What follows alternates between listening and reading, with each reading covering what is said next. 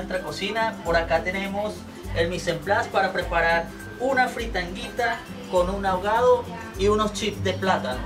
Delicioso.